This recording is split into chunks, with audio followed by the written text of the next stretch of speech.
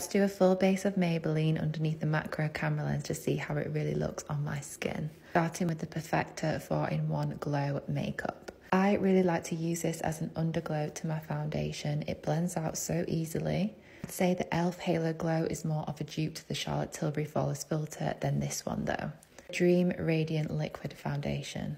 These products with the security labels are so hard to get into. I'd say it's medium buildable coverage. And I was so impressed by it. I don't know how people don't talk about this more. It's so, so nice on the skin. It didn't look patchy either. I'll definitely be using this again. Eraser Multi-Use Concealer. I have to say this is one of my favourite drugstore concealers. It's really creamy and full coverage. It blends out so nicely and it doesn't go dry or patchy and it definitely covers my dark circles.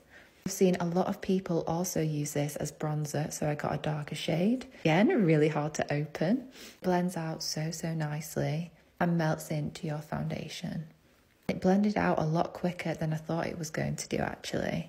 I feel like it did look quite orange at first, but once I blended it all out, I really liked it. A Cheek Heat Blush. So this is a gel-based blush. It does say on the packaging that it is sheer, I was a bit disappointed because it did go quite patchy at first, but it did blend all together eventually. Probably suited better to no makeup makeup looks. The Fit Me powder, one of my absolute favourite drugstore powders. Looks so nice underneath the eyes and it doesn't go patchy. Together, I'm really impressed. Let me know what you think.